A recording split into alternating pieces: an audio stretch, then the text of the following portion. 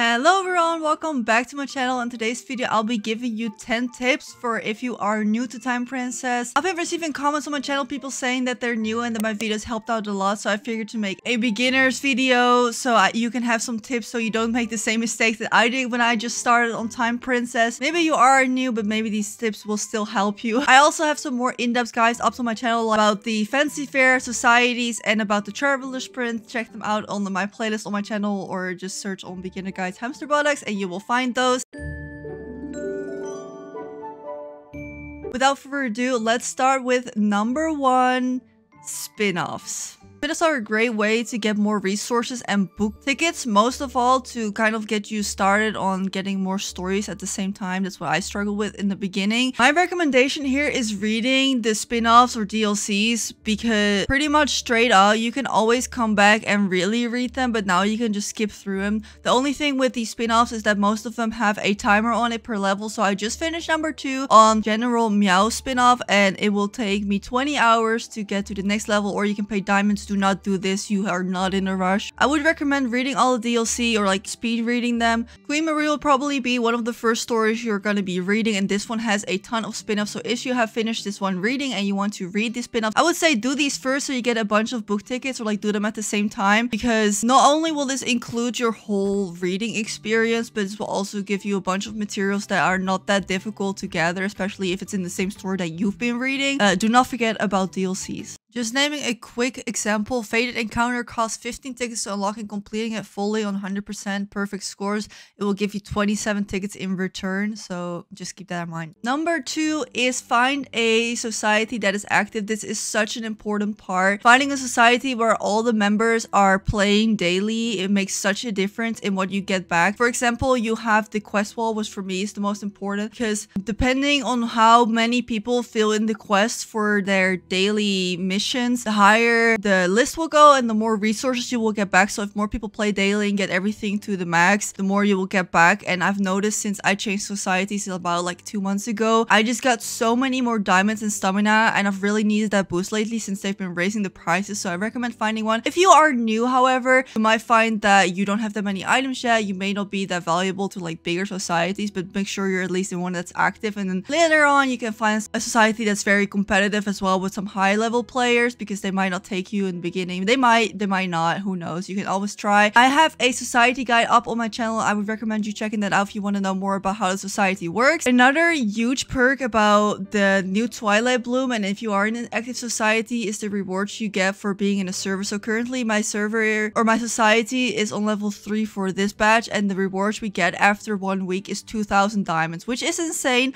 Just getting free diamonds for just being in an active server. Same goes for the mini games. Often have a leaderboard currently. It is the Kitty Terror mini game that doesn't have any society, but like the fruit game, the fruit shoot mini game has a society ranking where you can even get items or a profile picture banner and also a bunch of diamonds and rewards. So I really recommend finding that. In my diamond game video, I already mentioned it, but I figured to mention it again. Sharing three times a day will give you 30 diamonds. As you can see, I'm just pressing on share three times. You just do this over your profile, you get 30 diamonds. That's it. It's that easy. It really adds up if you do the 30 every day. So please do not forget to do this. This will be great hand later on. And now on to tip number four. I would say log in twice a day. This is mainly to send out your cats. I just woke up, so uh, they've been back for a minute, but send out your cats. I always send them out for eight hours. Sending out for two, four, or eight is not going to make a difference in the rewards they bring back, so you might as well just do it the longest time. So when you wake up, and then in the evening, you can come back and send them out again so you can sleep when they're still out. Same goes for your society quest. You can see if you can fill up any last items that you need, or if there's an event running here, you can claim it every six hours even, so that would be three times a day, but an average of twice a day of login, I think would maximize the most of your playtime.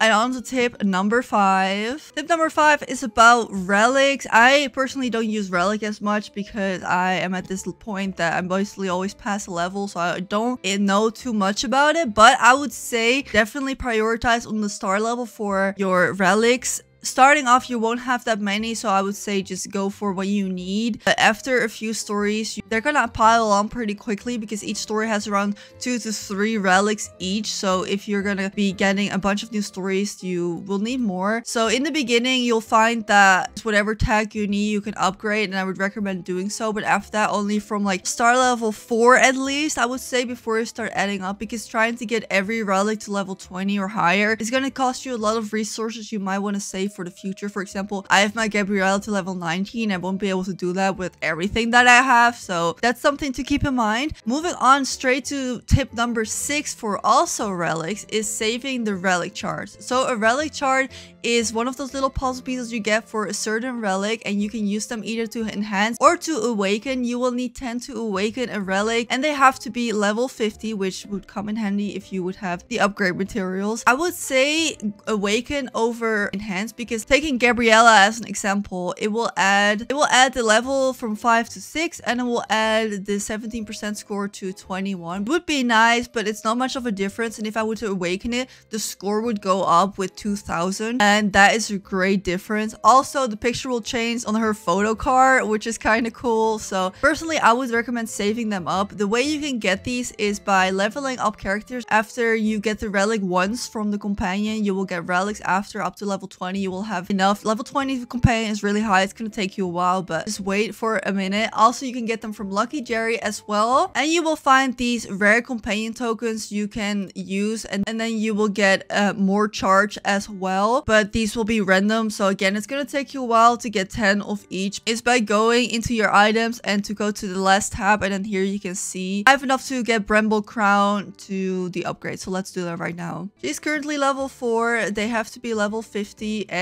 you need 150 coins. So this is to take a lot. So let's just get her to level 50 right now. I got her to level 51 even. And as you can see, it costs a little bit of a drain in my resources as well. But that's okay. So let's awaken it for 150,000, and this is what she looks like now and now she has a pretty good score of three and a half thousand so that's how relic and relic charts work on to number seven this is about the time academy this recently only got added and this is also a great way to boost your score but at the same time it's a very very expensive so the way this works is that it's segmented in different parts and you will have to use these little spoolies to upgrade it and then after a while you'll have to activate to get the new level not only will this cost a lot of these spindle materials, but it will also cost you a lot of diamonds to get to the next level. And I'm saying if you're new, just skip on this. Like, you don't need this because to get these spindles, you either use it from the fashion pass or magic recycling. And I wouldn't say that you want to recycle your items here over the way you can do with Lovecraft. But with Lovecraft, you can actually get more resources you can use in game. Maybe if you're stuck on a level, I would say try, try to get the first level in, but I would say that it's not worth spending your diamonds. Even I think this is too expensive, so I'm not really like investing in here. We have the fashion Lab, however, which is a great way to upgrade your level and your overall score. I would say focus on the categories you use always, like hair, hats, dresses, shoes, socks, instead of the maybe the pants or skirts, because you don't always use this. Like I use this dress way more than I use the top. That's why I upgraded this way more. And this is what you get from being in an active society as well. So this is way more beginner friendly as well, since this won't cost you as much materials. The same for this, you basically gain this over time by just playing and exchanging with your items for Lovecraft as well. Tip number eight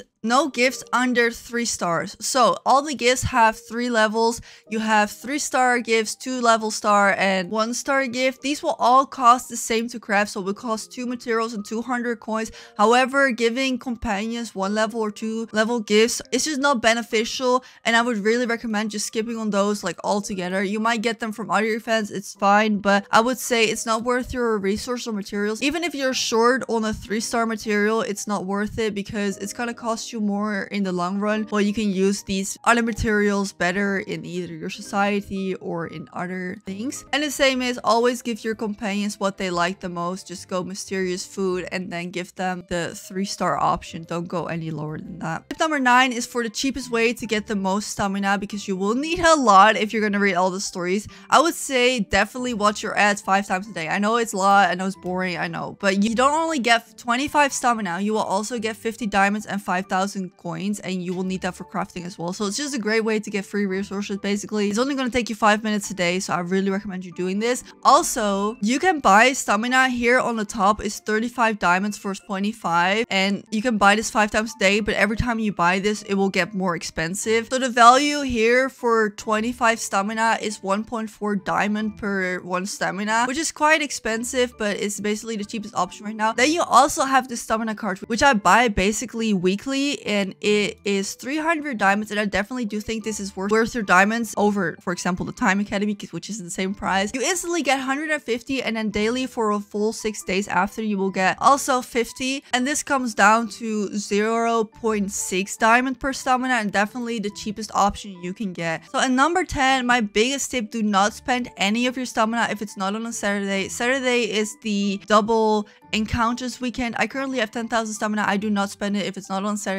So the way that works is you get double the item that you're going for, but you also get double experience and double the coins, which will make you end level faster, get you more coins, and just everything you need more. This game is really expensive on the stamina consumption, so you will really need that. And that's what I didn't do this for the first year and a half of playing this game or something like that. And if I did, I would have had way more stuff by now, even though I'm already pretty caught up. But if you're playing right now, I would definitely say stop spending, only do it on the Same as for the encounter boxes that you get from your companions. Only really open these on the weekends because you get stamina from them as well. I can't press enough if you're playing you want to read the story, I get it. But if you're stuck on having to craft a dress, I would say wait until the weekend because it really adds up and it's going to get so expensive. This is definitely my biggest tip if you're new and you didn't notice yet. This is going to be like a game changer because you're going to get so much more out of what you already have. If you're scared that the value is not the same, I know lower levels you don't even have the 200 stamina cap. It is more resourceful to save the stamina than spend it to zero and then wait it to recharge.